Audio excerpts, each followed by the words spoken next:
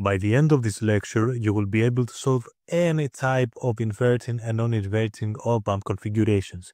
So be patient and stay until the end. Alright, we have uh, an output node here.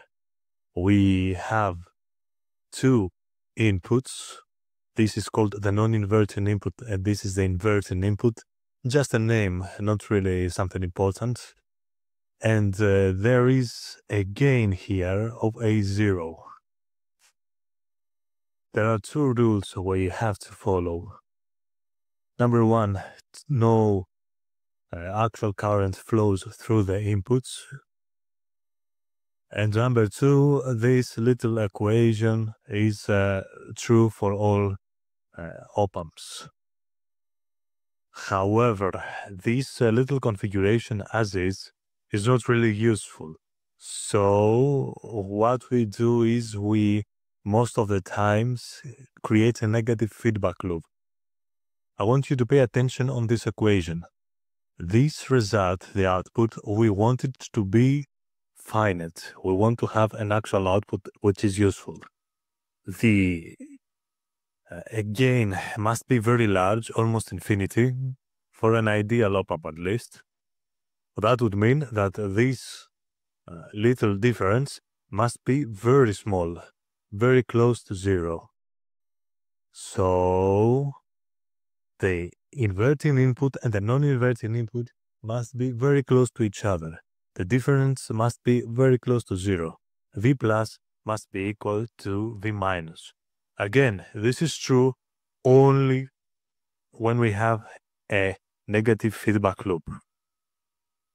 And it's true most of the times. Not always, but 99% of the time. Right, moving forward, let's uh, examine the inverse op-amp. Again, we have the little rules here, so, so we remember them. There is a current flowing from here to here, no current flows from here to here, and the current flows from here all the way to here. I'll name this node X, this will be the voltage at point X, and how much would that voltage be? Again, have to follow this rule. The voltage at, at node X must be equal to the voltage here, which is zero because this is the ground. We call this point a virtual ground because it always has a voltage of zero. This is not actually grounded. When you have a more complex configuration over here, you might be tempted to say that this is parallel to some resistors that are pointing to the ground. This is not true. This point is not actually grounded. It just means that the voltage here is zero. What we are going to do is we're taking the Ohm's law. Like first, for R1, the voltage here must be V in minus Vx over I, the common current, and the voltage here must be equal to Vx minus Vout over I. We know that Vx is zero, the virtual ground, and what we're going to do is we're going to say that this is the same current, therefore V in over R1 must be equal to minus V out over R2, which brings us to this little beautiful equation. Uh, this says to us that the output over the input is determined by the negative sign of R2 over R1. This negative sign here is the reason we call this an inverting op-amp. Now, if we had a, an impedance here in general, Z1, and an impedance here, Z2, instead of resistors, again, we would follow the same principles and we would get this result, minus Z2 over Z1. All right, so let's look at this exercise. We have some capacitors, a couple of resistors, and we are asked to find what is the transfer function um, in the frequency domain. Right, before we panic, let's uh, notice some things here. I see that this node is actually the same as this node, right? So what I'm going to do is I'm going to write this circuit like this. This is the exact same. Take your time and look at it. This uh, this node is exact same as this node, so I just write it like this. Now, I am familiar with this configuration. This is what? This is Z1 and this is Z2 from our previous uh, analysis. Therefore, I figure out that this is a typical inverting op-amp. Z1 must be equal to C1 in parallel to R1 and the same with Z2. So I know that V out over V in must be equal to minus Z2 over Z1, which would mean I will just uh, write the analytical equations here. What is the Z of R1 and R2? The same value of the ohmic resistance, R1 and R2, and the impedance of the capacitors must be equal to 1 over CS, again for the different capacitors.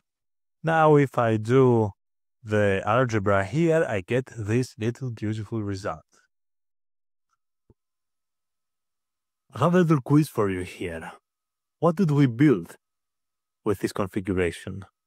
What is actually this? I leave it up to you and I expect an answer in the comments below.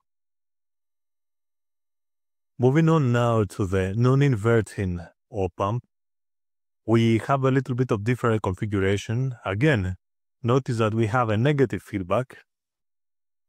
And uh, what we have now is two resistors connected like this.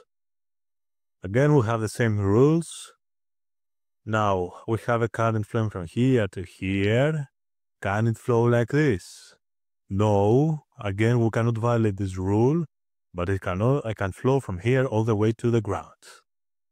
I will call this node node X and I'm going to say that Vx is equal to Vin. I notice that the current is common all the way to here. So what I have here is actually a voltage divider from uh, circuit theory, if you remember. The voltage here to here, which is V out minus zero over the total resistance, which is R1 plus R2 must be equal to the voltage from here to here, which is V in minus 0, over the total resistance from here to here, which is R2. Now, if we shuffle things around, we get V out over in is equal to R1 plus R2 over R2. And if I uh, separate these two fractions, I get R1 plus R1 plus R2. The sign here is plus, so that's why this is called the non-inverting op-amp.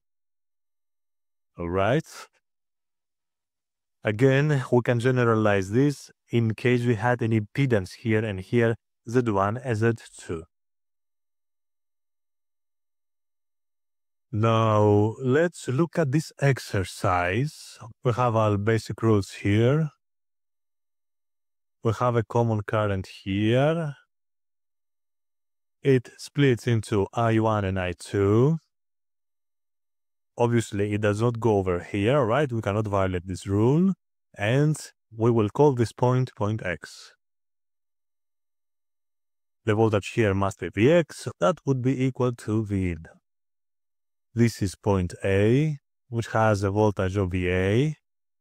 And what we are going to do is we are going to do a KCL on point A. I is equal to I1 plus I2. This is equation 0. We're going to apply Ohm's law. First, here, R1 must be equal to V out minus VA over I. R2 must be equal to VA minus 0, right? VA minus 0 over I2.